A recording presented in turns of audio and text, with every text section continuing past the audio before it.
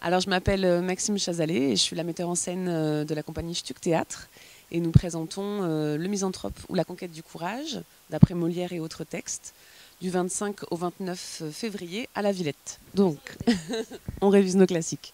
Euh, le misanthrope de Molière. Donc, le misanthrope de Molière, ça raconte euh, le parcours euh, d'un homme qui s'appelle Alceste et qui déclare au début de la pièce que c'est le courage du cœur qui doit organiser comme ça la vie en société. Faute de sincérité, on ne peut pas vivre en société. Donc, il y a le texte de Molière en alexandrin. Il y a des coupes à l'intérieur, toutes les, toutes les scènes n'ont pas été gardées.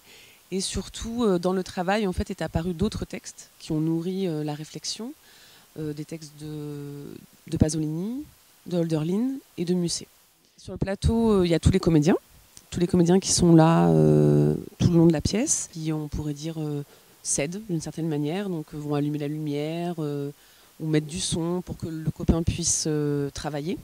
C'est assez doux entre les comédiens. il y a une forme comme ça de, tendresse, d'écoute une forme de circulation entre eux euh, qui permet en fait, euh, en tout cas pour nous, de pouvoir travailler euh, le misanthrope, mais du point de l'amitié.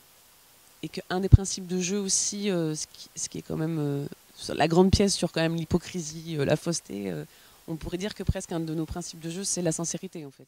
Donc je pense que sur le plateau aussi, il y a une euh, façon de prendre comme ça euh, à bras le corps et à bras la pensée, euh, ce, qui se, ce qui se dit, donc là, dans Molière au XVIIe siècle, mais qui aujourd'hui est quand même, enfin cette question-là reste une question d'actualité. Ce qui devrait organiser la vie ensemble, c'est quand même le courage, le cœur, l'honnêteté, la capacité d'être ensemble.